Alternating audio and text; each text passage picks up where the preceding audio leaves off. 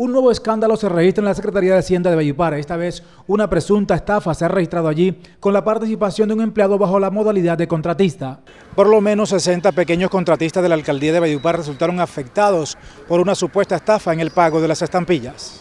Según una denuncia ante la Fiscalía General de la Nación presentada por el secretario de Hacienda Municipal Eude Fuentes y el tesorero municipal Saúl Martínez Arredondo, el contratista Linzay Javier Felizola Cortesero habría recibido el pago de los valores correspondientes a la estampilla de los contratos de unas 60 personas quienes firmaron con la alcaldía de Bayupar y les habría entregado recibos falsos, tanto de la alcaldía como de la gobernación del Cesar. Nosotros el día jueves nos damos cuenta de eso.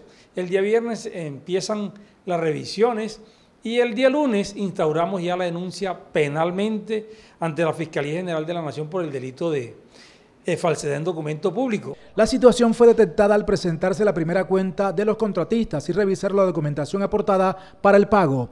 Allí el tesorero descubrió que los recibos correspondientes al pago de las estampillas en la gobernación y en la alcaldía eran falsos. Eh, el tesorero del municipio de Ayupar, en unas labores de rutina, ¿no? de pago, detectó en un egreso que había, de un pago que iba a hacer, detectó un recibo falso del pago de las estampillas.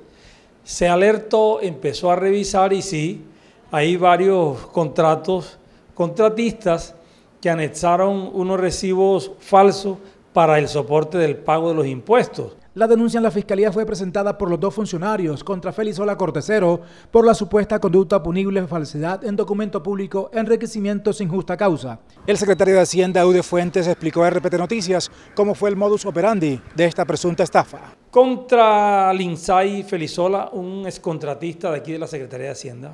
En economía hay un principio que manifiesta lo siguiente, la intermediación acarrea costos. O sea, para el pago de impuestos no se necesita intermediario. Los afectados son pequeños contratistas que tienen vínculos con la alcaldía de Valledupar a través de la Secretaría de Tránsito de Obras o General y cuyo sueldo mensual no supera el millón quinientos mil pesos. Unos aducen de que fueron asaltados en su buena fe porque supuestamente el INSAI que les prestaba y ellos, como no tenían el recurso en el momento, otros sí estaban a sabiendas de que el documento no era idóneo. Entonces, el llamado aquí es, hombre, la gente tiene que pagar es lo que le compete. No busquen, porque es que aquí también, o sea, el delito es de parte y parte, tanto el que actúa como el que gestiona para que actúen. Aparentemente estas personas no tenían cómo pagar el valor de las estampillas para sus contratos y Felizola Cortesero les habría ofrecido la posibilidad de pagar a través de una tarjeta de crédito.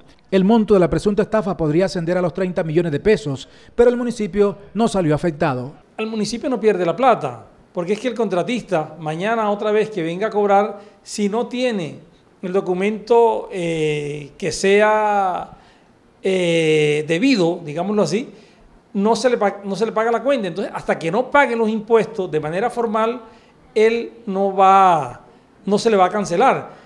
RPT Noticias no tuvo la posibilidad de localizar al Insai Felizola para conocer su posición sobre esta denuncia en su contra. No es la primera vez que este tipo de escándalo afecta a la Secretaría de Hacienda de Valledupar. Ya en el pasado se ha registrado un caso conocido como el cartel de los impuestos, que vinculó a varios funcionarios de la Secretaría de Hacienda, muchos de ellos vinculados al proceso judicial actualmente. Con la cámara de Luis Gutiérrez, este es un informe para RPT Noticias, Ubaldo Anaya Flores.